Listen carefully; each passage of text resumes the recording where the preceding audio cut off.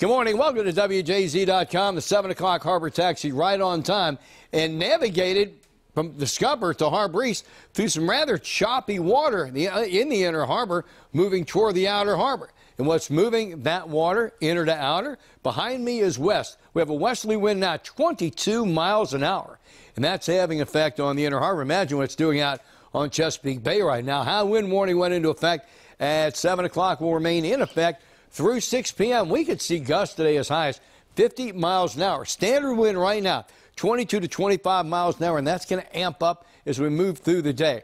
Uh, taking wind out of the equation, we have a really mild morning. Your normal overnight low, 28 degrees. These are temperatures at 7 o'clock.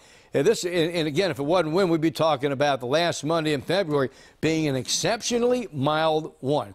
Now, let's just go ahead and talk about what's going on. First off, take a look at this lake effect. You've got the cooler air going over the warmer Great Lakes. You get snow on the lee side. It's lake effect. Every once in a while, with a strong north northwest wind, we'll have lake effect come as far as basically western Maryland, with maybe some flurries even ending up down in Delmarva.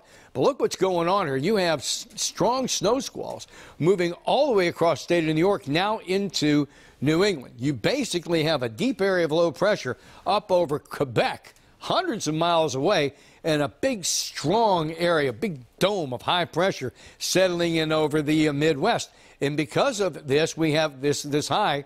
Nature abhors a vacuum. It's trying to fill in this gap. And that's where you get these strong west uh, to maybe west northwest winds. Can't even say breezes, strong winds today. Now, they'll diminish tonight as high pressure settles in over the area. Then what we'll look forward to midweek is a clipper breaking out of the west. It will pass by to our north with no real ill effect in our forecast at all, other than gray skies and shower activity. And particularly that's going to happen Thursday, Friday, Saturday, and Sunday. Futurecast really shows, again, high pressure settling in, getting offshore. Here comes that initial low clouds in the first round of what's going to be four days, of gray skies and some showers. 43 today and windy overnight tonight. Still breezy, 28 degrees. Winds will come tomorrow, sunny tomorrow and Wednesday.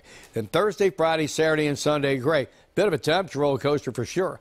42 to 48 44 to 60 to 36. Nothing than that 19 degrees Sunday night. Temperatures at night, generally speaking, at or well above normal. And that's how we end February and start March. Thanks so much for stopping by. WJZ.com.